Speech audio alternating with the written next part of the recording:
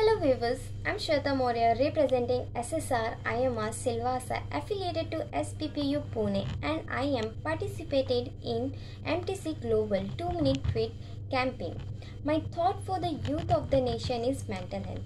In today's world, young people face a lot of stress from social media, schools and relationships. This stress can really affect their mental health. We need to talk openly about their mental health and make it okay to ask for help when needed. Here are some things we can do to help youth with their mental health. First, encourage self-care.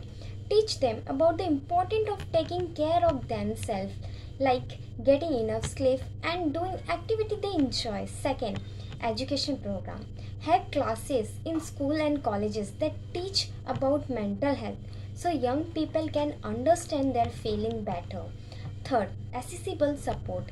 Make sure there are places they can go to get help if they need it, like mentor or support group.